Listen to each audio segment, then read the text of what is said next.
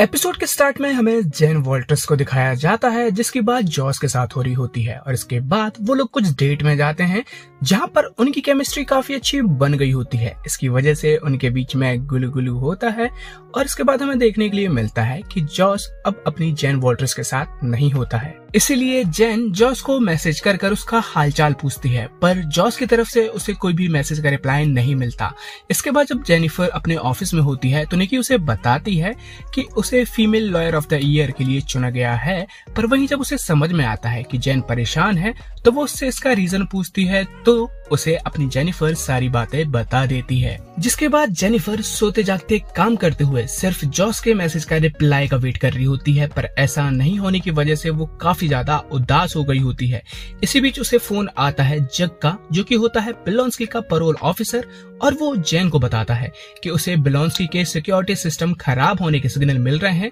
जिसकी वजह से उसे लगता है कि शायद वो अबोमिनेशन में ट्रांसफॉर्म हो गया है। जिस परेशानी को देखते साथ ही जेनिफर ब्लॉन्सकी से मिलने जाती है और साथ ही साथ परोल ऑफिसर जग भी वहाँ पे पहुँच गया होता है। जहाँ पर वो लोग सिक्योरिटी सिस्टम चेक कर रहे होते हैं तो ब्लॉन्सकी बताता है कि घर का काम करते हुए उसे काफ़ी ज़्यादा इलेक्ट्रिक शॉक लग गया, जिसकी वजह से ही ये सिस्टम खराब हो गया है। जहाँ पर सारी सिचुएशन को सही देखते हुए वो लोग वापस जाने लग गए होते हैं, पर इसी बीच दो वियर्ड से बंदे आकर जेनिफर के कार पर ही लड़ रहे होते हैं और जिससे उसकी कार खराब हो गई होती है। इसलिए वो शीहल्क में ट्रांसफॉर्म होकर उनकी पिटाई करने लग गई होती है तो वो लोग शीहल्क से माफ़ी मांगकर अपने द्वारा किया हुआ नुकसान की भरपाई करने की बात करते हैं, जिसमें टाइम लगने वाला होता है। इसलिए जेनिफर ब्लॉन्सकी के साथ मिलकर गार्डन में सिग्नल ढूंढ रही होती है। वहीं पर ब्लॉन्सकी जेनिफर से कहता है कि क्यों ना वो उसके स्पिरिचुअल ग्रुप में जाए और थोड़ी सी उनकी बातों को सुने, जिस पर जेनिफर कहती है कि उसे बस यहाँ पर वाईफाई चाहिए, क्योंकि यहाँ पर सिग्नल नहीं मिल रहा होता। जिस पर ब्लॉन्सकी बताता है कि जब वो दुनिया से कटेंगे, तब तो अपने आप को ही ढूंढ पाएँगे।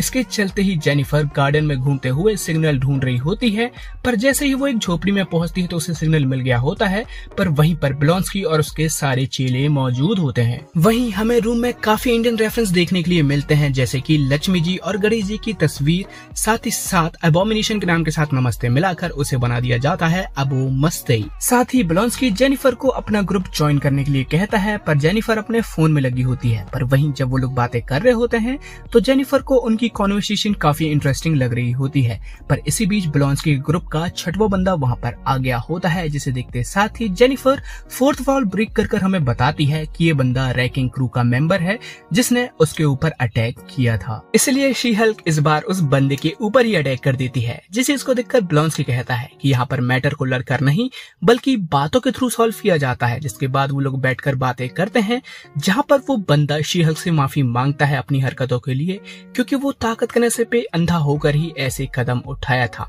इसके बाद वहाँ के सारे बंदे मिलकर शीहल से पूछते हैं कि उसके अंदर कोई परेशानी चल रही है क्या? क्योंकि वो सिर्फ़ लोगों को उठाकर फेंक रही होती है। जिस पर जेनिफर बताती है कि इस दुनिया में सारे लोग जो कि सिर्फ़ शीहल को पसंद करते हैं, उन भीड़ में से इकलौता जॉस ही ऐसा था जो कि ओरिजिनल जेनिफर को पसंद करते आ रहा था, जहाँ पर वो लोग काफ़ी डेट में गए और उनके बीच में काफ़ी कुछ हुआ, पर इसके बाद जॉस अचानक से गायब हो गया और न ही वो अब उसके किसी भी मैसेज और कॉल का रिप्लाई कर रहा है, जहाँ पर उसे फाइनली लगने लगा था कि असल में कोई जेनिफर को पसंद तो कर रहा है, पर जब उसे पता चला कि जॉस भी अब उसके साथ नहीं है तो ये चीज़ उसका दिल तोड़ दी। इस चीज़ को सुनते साथ ही वहाँ पर बैठे लोग काफ़ी भड़क गए होते हैं और वो जॉश को मारने की बात करने लग गए होते हैं। जिस पर प्लॉन्सकी उन सबको समझाकर शांत करता है और कहता है कि क्यों ना वो जेनिफर की प्रॉब्लम समझकर उसका सॉल्यूशन निकाले तो यहाँ पर सॉल्यूशन ये होता है कि जेनिफर शीहल की जगह ज़्यादा से ज़्यादा टाइम खुद को दे और इसके बाद जॉस के साथ जितने भी कॉन्टेक्ट है उन सबको हटा दे। तो जेनिफर बिल्कुल वैसा ही करती है और ऐसा करने के बाद वो काफ़ी ज़्यादा रिलीफ फील कर रही होती है। वहीं उन सब की इतनी अच्छी हेल्प के लिए जेनिफर उन्हें थैंक्स कहती है और उसके बाद वहाँ से जाने लग गई होती है, क्योंकि वहाँ पर टो ट्रक आ गया होता है,